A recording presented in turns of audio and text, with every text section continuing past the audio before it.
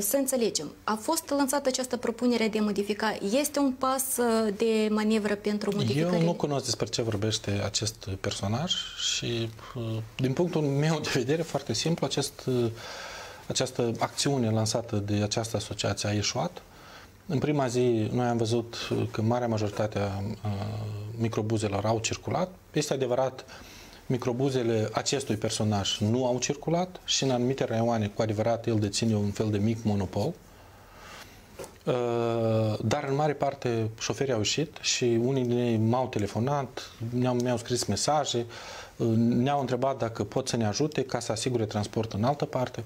În a doua zi de protest, mai mulți transportatori au ieșit și șoferi decât în prima zi și evident că nu prea au avut de ales decât, pentru că dacă puteau să continue și astăzi protestul, cu siguranță ieșeau și mai mulți. Uh-huh.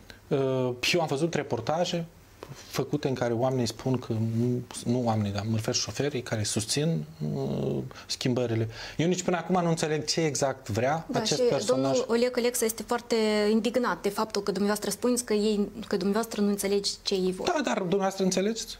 Ei spun că este nevoie de un program național în care statul program trebuie să susține pentru, pentru modernizarea transportului. Dar ce au făcut 30 de ani? Este nevoie și de subvenționare. Eu încă o dată întreb, 30 de ani. Uitați, eu înțeleg dacă noi vorbim de o situație de moment. Dar sunt autocare care au peste 20 de ani. În tariful pe care îl plătesc oamenii pe bilete este inclus inclusiv modernizarea.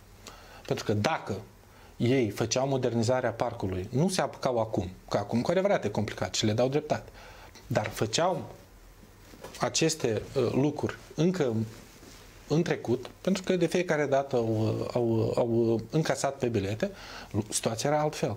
Uh-huh.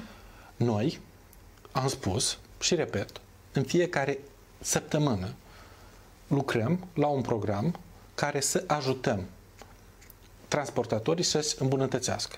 Uh, să venim cu un program de ajutor ca ei să-și poată cumpăra sau schimba parcul auto.